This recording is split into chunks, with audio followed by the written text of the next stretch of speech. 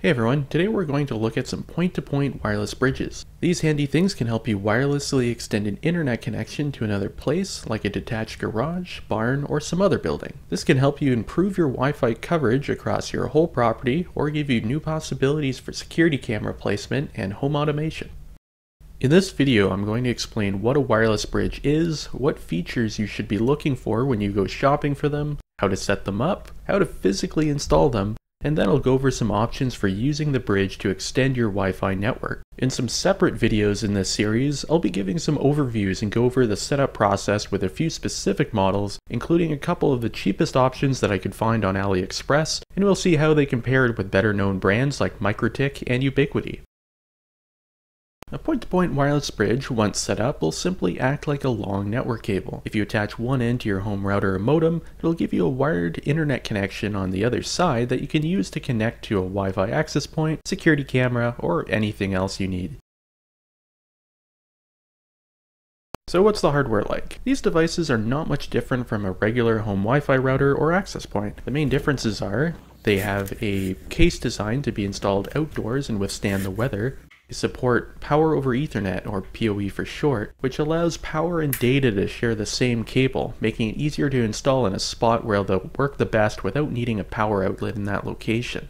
The software running on them can act as either an access point, which broadcasts a Wi-Fi network, or it can act as a client device, which connects to a Wi-Fi network. The software might also have some proprietary changes to the Wi-Fi protocols to make them work better at longer distances. The most significant difference is the antenna inside. Your home router is designed to give you a somewhat even coverage all around it, but these PTP bridges will usually focus the same amount of wireless power in a very specific direction. Think about it like comparing a bare light bulb to a flashlight.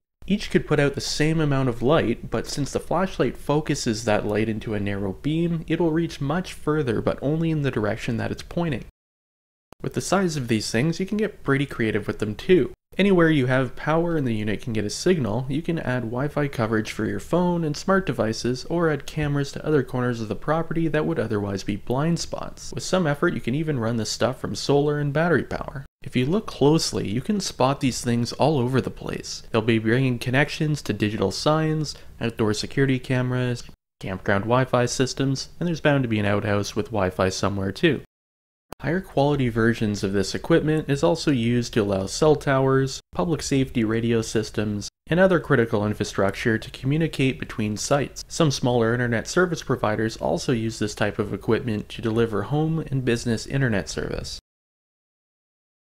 Wi-Fi bridges are made by a lot of different companies and the amount of options even from one company can be a bit overwhelming. So, what do you look for? One thing to consider when choosing the hardware is the radio frequency band that the bridges use. You'll probably see bridges listed as operating in the 2.4, 5, or 60 GHz ranges. The 2.4 frequency band will be slower and is often fairly congested in more urban areas because there's fewer channels available. The lower frequency allows it to pass through obstacles like trees and walls better.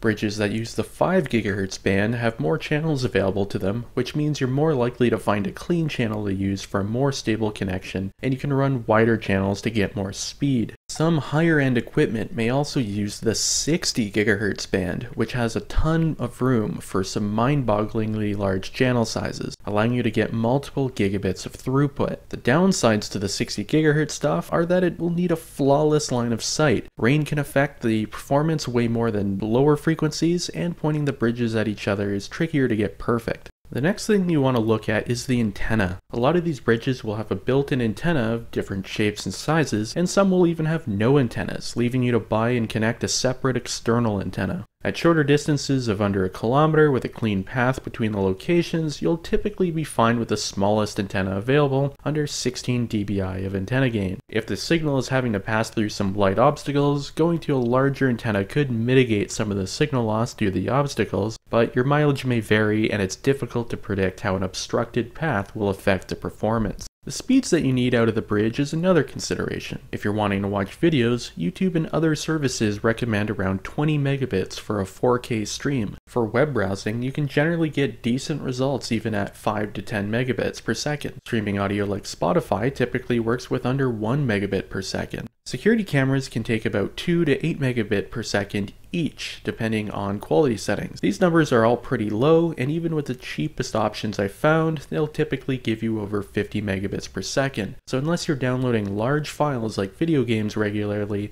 you can get away with the cheaper options. Besides the frequency, antenna, and speed, there's a few other subtle differences between products. If you want the best possible speeds, you'll want a bridge with a gigabit network port, since some of the cheaper models will have 100 megabit ports, despite the wireless link being capable of more than that. The design of the units will impact the way you install it. Some can be directly wall mounted, and others might be designed to attach to a pole or some other round thing.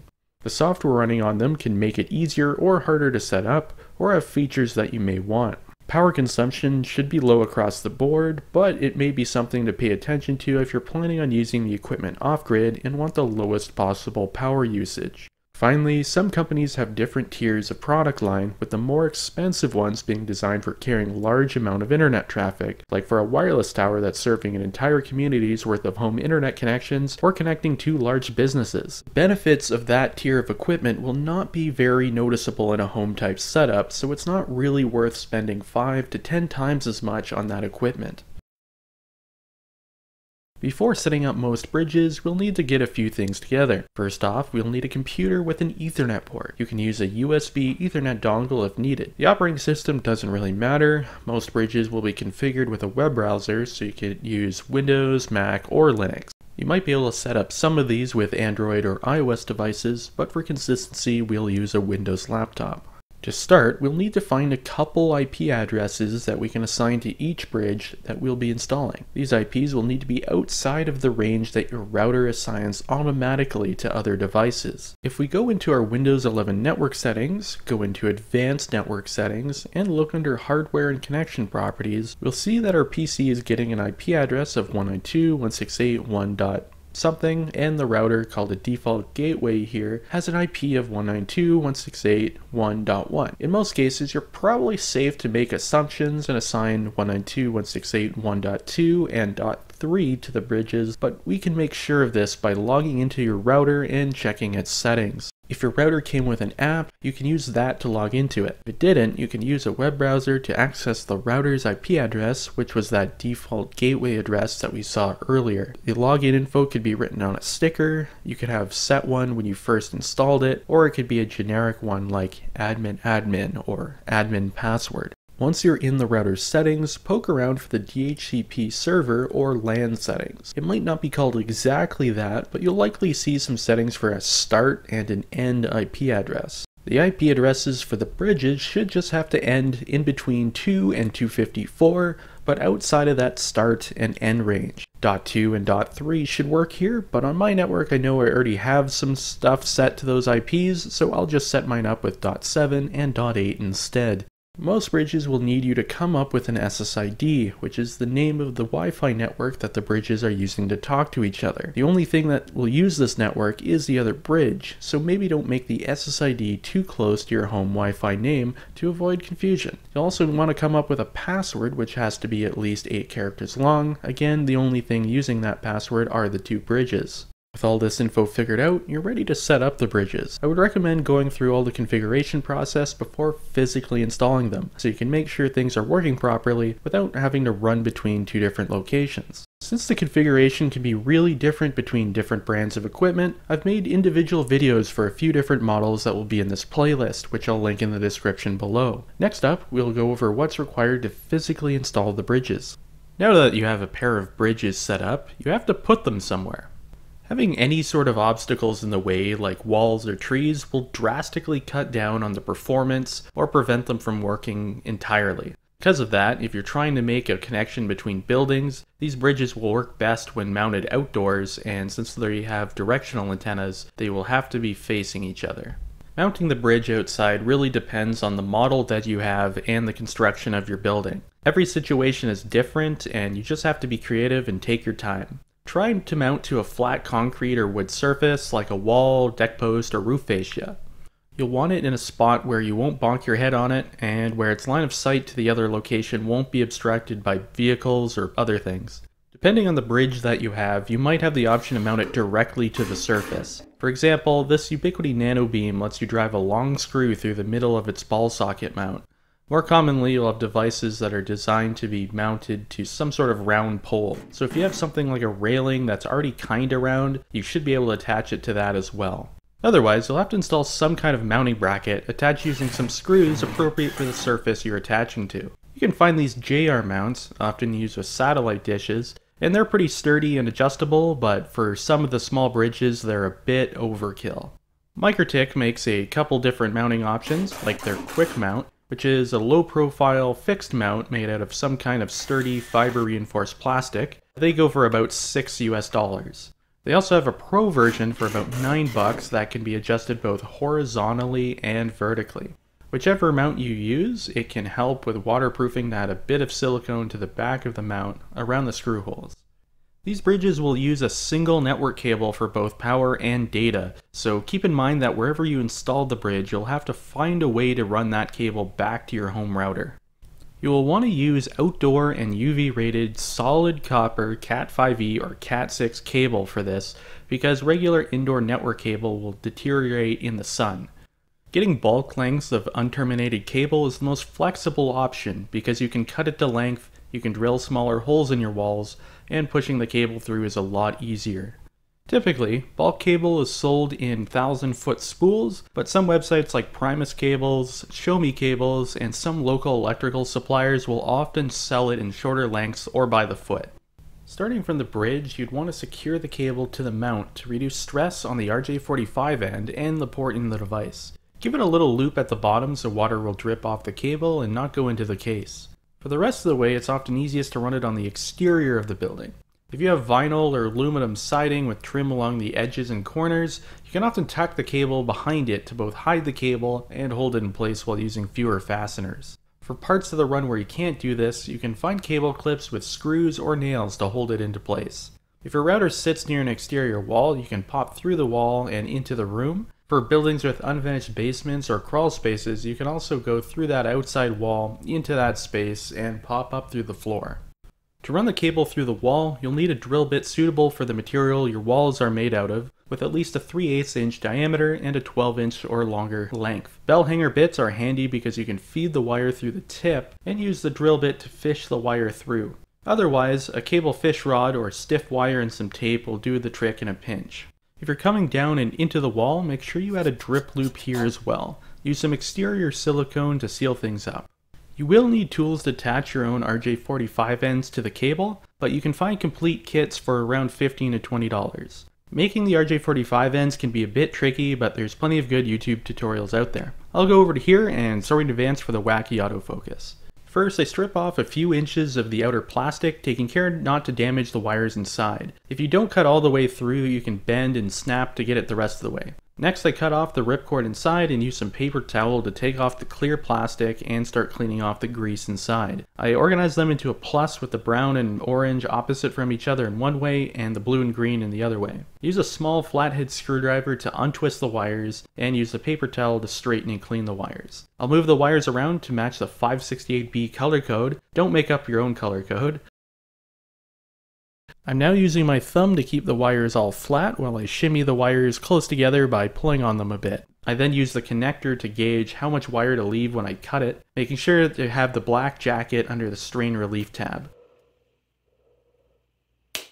Then I carefully hold the wires flat as far back as you can while sliding the wires into the connector. Once the wires are in, push them all the way into the connector and verify that the wires are in the correct order.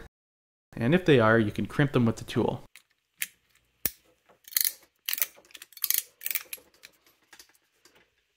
The RJ45 should now be ready to use. If you buy bulk cable and RJ45 ends, make a few practice cables first before you're up a ladder swearing at some little wires. If you're willing to pay a little more on the tools and connectors, pass-through RJ45 connectors can make things a little easier if you're not doing them very often. It helps you be a little less precise when cutting the wires to length and feeding them into the connector, but is otherwise the same process as with the standard ends.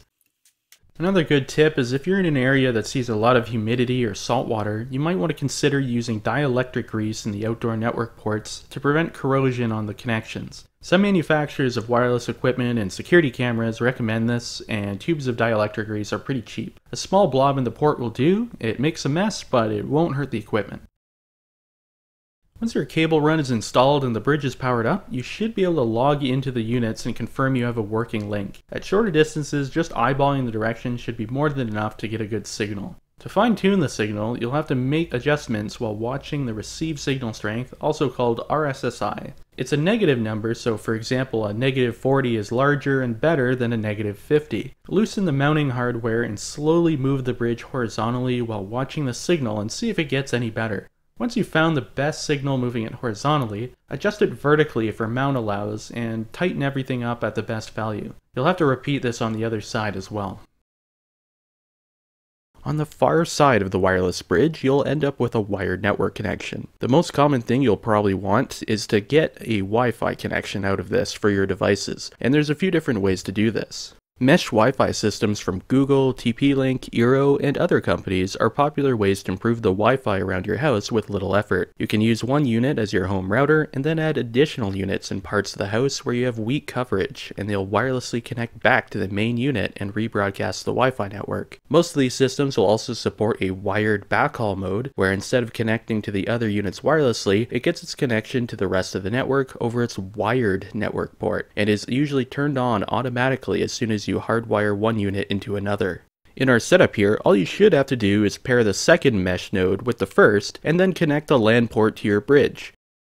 If you don't have one of these systems, or you want to save a few bucks, you can use a regular home Wi-Fi router, which you might already have laying around. You can also find them secondhand at thrift stores and on places like Facebook Marketplace for 5 to $20, or brand new from 40 to $100. The nice thing about using a Wi-Fi router for this is that it also has a built-in network switch that you can use to hardwire in extra devices like cameras. To use Wi-Fi routers to extend your Wi-Fi network, you'll have to log into the router and then set them up in access point mode. Use the same Wi-Fi name and password as your main Wi-Fi network and assign it another open IP address on your network.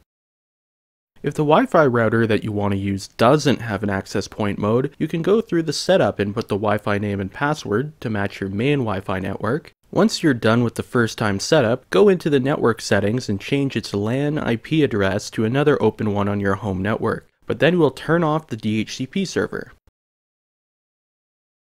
For the physical connections, ignore the WAN port and instead connect the bridge and other wired devices to the LAN ports. If you don't need extra Ethernet ports, Wi-Fi range extender devices will often have an access point mode too, and are often a little cheaper and smaller if you're buying them brand new. But performance is often worse than a used, older, mid-range Wi-Fi router or a new low-end router. You can also buy dedicated access point devices from companies like Ubiquiti or TP-Link, which will typically perform better than the cheap extenders. If you just want to hook up a single wired network device, like a security camera, computer, or an IoT device, then you can attach them directly to the wireless bridge's PoE injector. Once you have working Wi-Fi at this new location, you can do all the same things you can do on your home Wi-Fi. Stream video, listen to music, control smart devices like lights and thermostats, but one handy thing that a surprising amount of people don't know about is Wi-Fi calling. If your cell phone provider supports Wi-Fi calling on your phone, then you can use it to send and receive calls and text messages using your regular phone number, but over Wi-Fi. This is really nice if your building has metal or concrete walls which block the cellular signal when you're inside. If you're in a remote area that has poor service to begin with, it's like getting a cell phone booster that works all over your house. As I mentioned earlier, there will be some other videos that actually dive into how you set up specific models of Wi-Fi bridges. If you made it this far, I hope that you check out some of those videos. If you have any questions about what I went over, be sure to leave a comment. Thanks!